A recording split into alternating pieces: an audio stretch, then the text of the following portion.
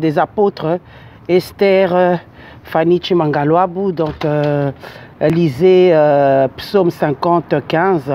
Euh, Dieu dit invoque-moi dans la détresse, il va te délivrer et tu, tu le glorifieras.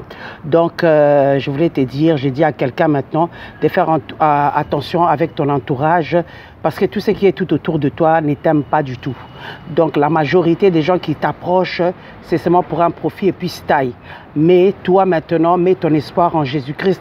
Travaille très très fort, prie encore et dans ce confinement, aie encore le courage car euh, nous éradiquons ce coronavirus et I'm prophesize your sickness is over. Your delay is over. Your sickness is over. Your delay is over. Jesus say yes, nobody can say no. God is great. God bless you. Blessing.